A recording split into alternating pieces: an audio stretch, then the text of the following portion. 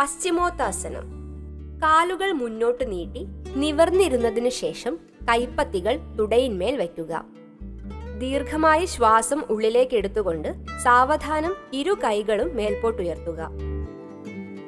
അരഭാഗം മുന്നോട്ട് വളച്ച് കൈകൾ കൊണ്ട് കാലിലെ പെരുവിരലിൽ പിടിക്കുകയും നെറ്റി കാൽമുട്ടിന്മേൽ സ്പർശിക്കാൻ ശ്രമിക്കുകയും ചെയ്യുക.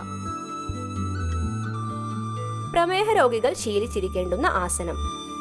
വൃക്ക കരൾ പാൻക്രിയാസ് എന്നീ ആന്തരികാവയവങ്ങൾക്ക് പ്രയോജനം കിട്ടും.